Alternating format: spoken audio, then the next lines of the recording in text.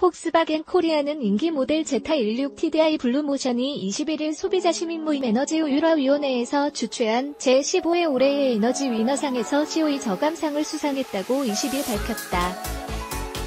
올해의 에너지 위너상은 4. 소비자 시민 모임, 이하소시모에서 에너지 고효율 제품의 생산과 소비 확산 및 에너지 절약 활동의 확산을 위해 1997년에 제정한 상으로 전문가로 구성된 소시모 에너지 효율화위원회의 엄정한 심사를 거쳐 매년 수상자를 선정하고 있다.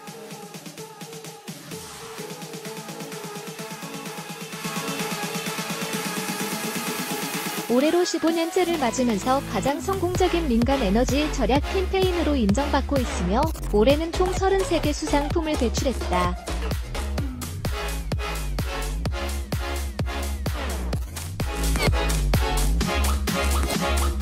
이산화탄소 배출량을 그램 KM로 줄인 제타 16 TDI 블루모션은 1.6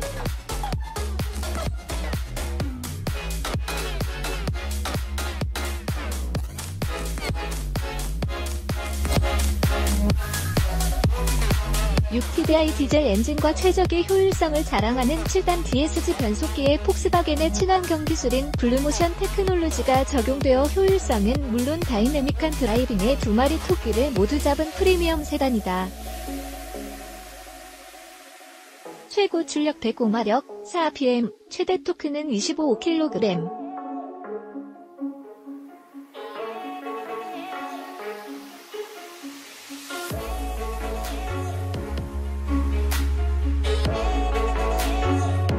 M 1500에서 야pm 정지 상태에서 100km까지 도달하는데 걸리는 시간은 10일.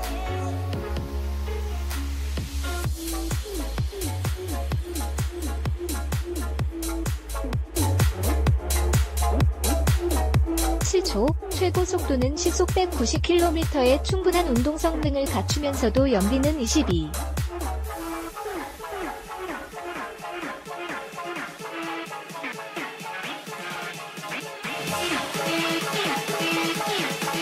L 이산화탄소 배출량은 그램 KM에 불과하다.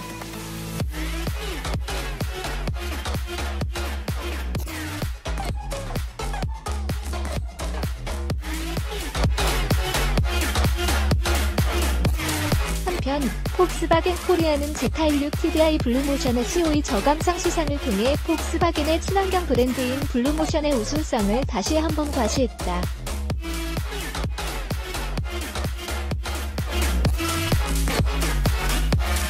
지난 1월 골프 16 TDI 블루모션을 출시하면서 국내에 최초로 선보인 블루모션 라인업은 지난 상반기 동안 총 1910대를 판매해 하이브리드 수입차의 상반기 전체 판매량 1764대를 크게 추월하면서 친환경 자동차의 대표 브랜드로 자리매김한 바 있다.